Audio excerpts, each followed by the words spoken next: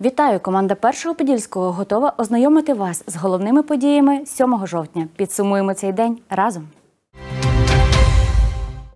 За минулий тиждень у фронтових зонах відбулося 1109 бойових зіткнень, не набагато менше ніж тиждень раніше. Ворог зосереджує основні зусилля на Покровському, Куп'янському, Лиманському і Торецькому напрямках. Триває українська операція в Курській області, де росіяни нищать власні населені пункти. За тиждень вони скинули там до 150 кабів. Проте нашим захисникам вдається гідно відстоювати позиції на усіх напрямках.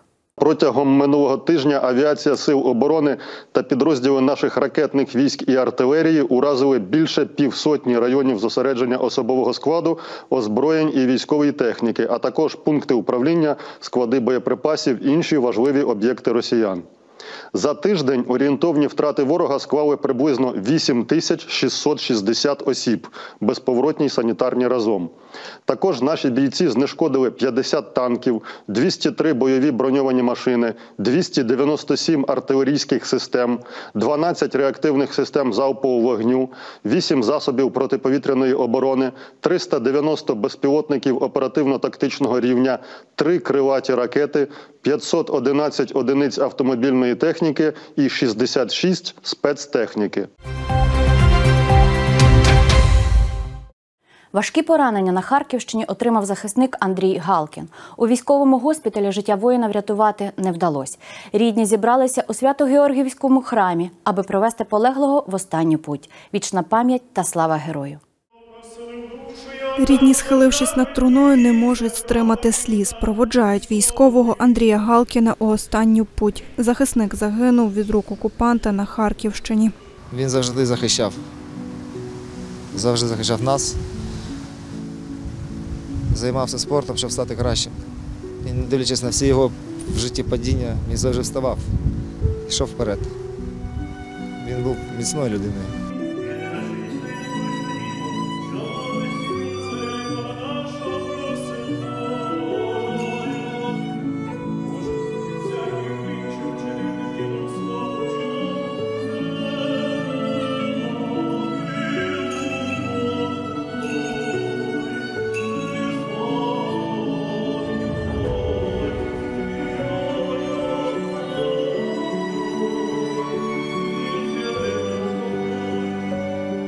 Потеряли гениального человека. Это был бы великолепный педагог. Он делал то, что он не должен был делать. Он не должен был идти на войну. Он должен был заниматься детьми. Мы потеряли гения. Пусть и не признанного. Жизнь продолжается. Мы все равно накажем тех людей, которые пришли с войной. По-любому. Жаль, что потеряли брата.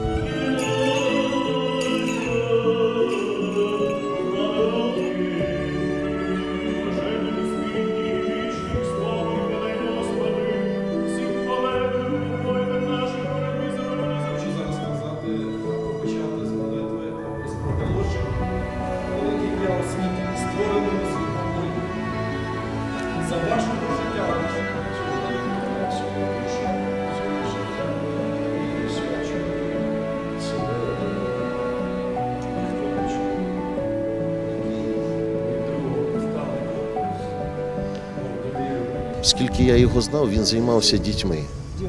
Брав маленьких діточок і виховував їх, щоб вони жили правильно сьогодні в цьому світі. І він старався жити правильно.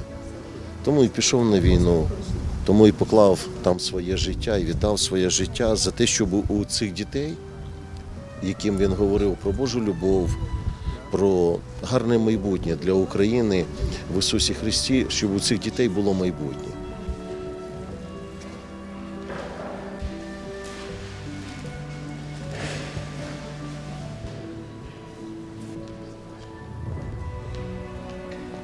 Тільки одружилися. І тільки б жити, да й жити. Але, на жаль, е, це зло у вигляді Путіна, Гітлера сучасного. І ця фашистська імперія вона прийшла на нашу територію, щоб вбивати наші родини, наших дітей, наше майбутнє і робити ну, свою загарбницьку таку війну тут на нашій території.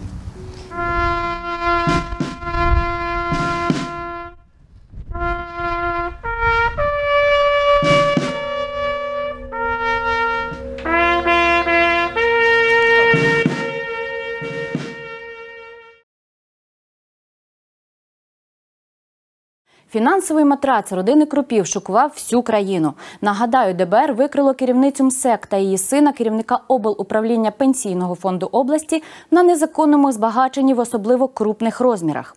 Офіс генпрокурора подав до суду клопотання про обрання підозрюваній Тетяні Крупі запобіжного заходу у вигляді тримання під вартою з можливістю внесення застави в розмірі 500 мільйонів гривень.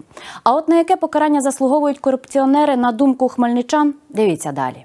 5 мільйонів доларів, 300 тисяч євро та понад 5 мільйонів гривень. І це далеко не всі статки, які знайшли працівники ДБР у керівниці Хмельницького обласного центру медико-соціальної експертизи та її сина. За незаконне збагачення шахраїв судитимуть. На яке покарання заслуговують посадовці, ми запитали у хмельничан. Вважаю, що має бути позбавлення волі, плюс конфіскація майна і заборона на обіймання певних посад в цій галузі, тому що це ну просто жахлива річ. Тим більше, що в країні йде війна, і збагачуватися на такій темі, ну це взагалі. Тобто треба не мати ні честі, ні совісті, ні гідності, ні людяності. Це моя думка. посадити її і все забрати і віддати е, ЗСУ. Я вважаю, що треба повернути то все государство. І це раз. І дати наказання таку, щоб міру попробували і труд свій, і все те, що наробили в Україні. Щоб більше не займали посади. Отаке і конфіскат. Та й, та й таке буде покарання. Я не знаю, вже тюрми і суми нікому не бажаю, але ж відповідати треба. на саме хуже. Вони тих людей, що хворі, вони не дають ні е, групи, нічого. От в мене болять коліна, все, щоб я зробила групу, я не зроблю, бо, бо видите ли, треба гроші заплатити. А їх де взяли? Нічого хорошого. Саме, що їм положено, хай то їм і роблять. Мені кажеться, треба, щоб її син був там, де хлопці наші. Голову відрубати. Біда, війна, що це? Покарання може бути різне. Е, Як мінімум е, позбавити всього того незаконно е, заробленого, того, що багато зараз хто йде е, воювати, а дехто ховається. Це не є правильно. Безпека на дорозі актуальна тема у Хмельницькому. Чи не щодня у новинах міста з'являються повідомлення про чергове ДТП. Часто не обходиться без постраждалих. Через які причини найчастіше виникають аварійні ситуації, розповіли працівники патрульної поліції. Експерти зазначили і на чому нині варто зосереджуватись пішоходам, щоб зберегти власне життя. Поширеними видами автопригод є зіткнення, наїзд на транспортний засіб, що стоїть, та наїзд на пішохода. Основні причини автопригод, які були скоєні, це недодержання дистанції, порушення правил маневрування, перевищення безпечної швидкості руху та керування транспортним засобом у стані алкогольного чи наркотичного сп'яніння. Осінньо-зимовий період наш світловий день коротший, а на вулиці темніє все швидше. Тому хочемо нагадати вам про те, що яскравий флікер може вберегти вам життя.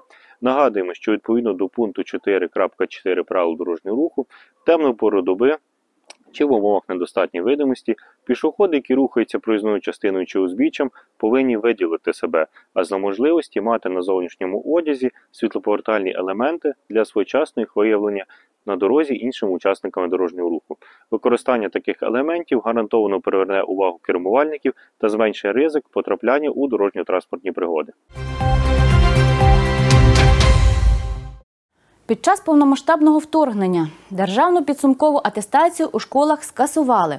Однак цьогоріч учні четвертих класів складатимуть ДПА.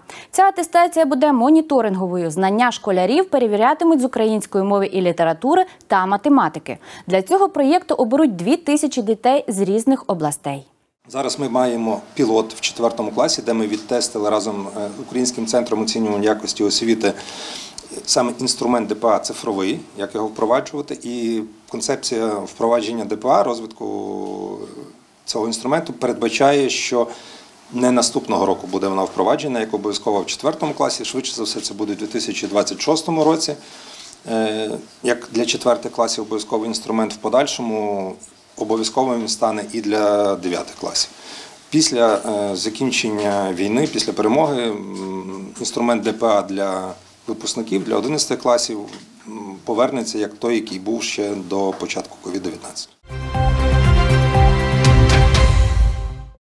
187 кікбоксерів зі всієї країни змагались за Кубок України серед дорослих. Ба більше на рингу провели і всеукраїнський турнір пам'яті Павла Орла та представників кікбоксингу ВАКО, що нині захищають Україну, де змагалося уже 355 учасників. Від Хмельниччини на турнірі були заявлені вихованці спортивного клубу Легіон. Хто переміг, знає Олександра Толстюк. На рингу точаться запеклі змагання. Кожен спортсмен намагається вибороти перемогу, аби представити Україну на європейському рівні. Цьогоріч у Хмельницькому провели бої за Кубок України із кікбоксингу ВАКО. Приємно відмітити, що сьогодні на змагання приїхало майже всі наші області. Єдине, що тільки немає Луганської. Це близько 700 спортсменів. Дуже приємно, тому що честь другий рік поспіль достається місту Хмельницькому в проведенні. А отже, рівень проведення змагань найвищий. Відбулися змагання за підтримки благодійного фонду Серце української нації на чолі із засновником Костянтином Гавриленко. Тут зібрались дуже конкурентні поєдинки проходять, бо нема там сказати, що хтось слабкий або сильніше. Всі е, мають е, однаковий рівень, і за цього. Якщо хтось програє, то програє на десь на один бал. Тобто мог десь щось виграти, але так склалася ситуація, десь времени не хватило чи ще щось. Тому конкурентні поєдинки, напруга є, що у спортсменів, що у секундантів. Майбутніх чемпіонів спортивного клубу Легіон тренує Сергій. Такий результат – наслідок праці кожного дня. Своїх підопічних виховує у дисципліні, адже кікбоксинг ВАКО – це спорт для витривалих, сильних та організованих. Виставляю команду біля 20 чоловік, е, серед яких є 5 дорослих, е, де у нас буде на цих змаганнях є відбірний чемпіонат Європи. Діти вже на великому досвіді їздять на обласні всеукраїнські змагання. Аби підтримати спортсменів-кікбоксерів, які нині захищають рідний край та одного із найголовніших постатей у цьому виді спорту в Україні Павла Орла, провели всеукраїнський турнір пам'яті. Турнір проводиться в пам'ять е, загиблих воїнів та Павла Афанасовича Орла. Це перший президент е, кікбоксингу ВАКа. Наступна наша поїздка це чемпіонат Європи. Він буде проходити в Греції, в Афінах. Тому сьогодні буде відбиратися найкраще, і вони поїдуть далі. За результатами збірних команд нагороди та кубок переможця отримали команди з Києва. Срібні нагороди здобула збірна з Харкова. Хмельничани ж посіли третє місце, виборовши бронзу, що говорить про відповідний рівень підготовки кікбоксерів у спортивному клубі Легіон. Олександра Толстюк, Єгор Гулько, телеканал Перший Подільський. І в продовження спортивної теми у Кам'янці-Подільському відбувся матч 10-го туру першої ліги, в якому футбольний клуб Епіцентр приймав Тернопільську ниву. Цей поєдинок був першим у другому колі. Кам'янчанам була необхідна перемога, аби продовжувати боротьбу за лідерство. Але отриманий результат похитнув позиції команди. Детальніше у сюжеті. Поєдинок між епіцентром та тернопільською нивою розпочався зі швидкого голу. На сьомій хвилині у ворота поцілив Вадим Сидун. До кінця тайму кам'янчанам не вдалося зрівняти рахунок. Не вистачає останнього пасу. Сьогодні не йшло, розумієте, кудись спішили дуже, десь е, розумієте, тут треба спокій в таких моментах. Трошки емоції перебрали свої в хлопців. Ну так що можна? Не вистачило голу, то що там другий тайм, тотальна перевага, там і перший. Ну це таке, розумієте, за перевагу не дають очки. Треба забивати голи, а ці моменти є, не можемо реалізувати. Перший тайм так і завершився із рахунком 1-0 на користь Неви. Ситуація змінилася на 63-й хвилині після прострілу півзахисника Івана Бендери, що дозволило зрівняти рахунок. Нічією і завершився матч.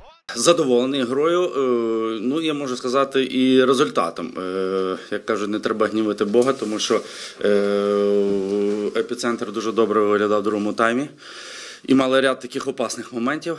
Але якщо в цілому, я думаю, що сьогодні закономірна нічия, і дві команди точно хотіли перемогти. Можна сказати, грали без середини поля, атака на атаку. Звичайно, нам бракує майстерності.